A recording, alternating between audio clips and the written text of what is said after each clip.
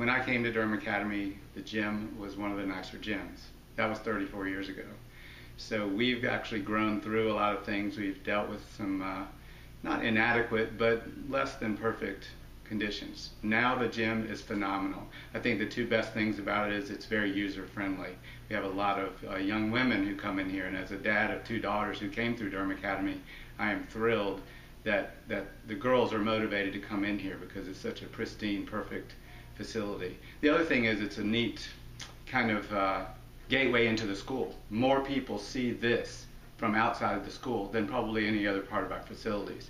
So now I think our facility matches our programs. We deserved it, or our school deserved it, and I'm just excited about being able to show it to everyone else.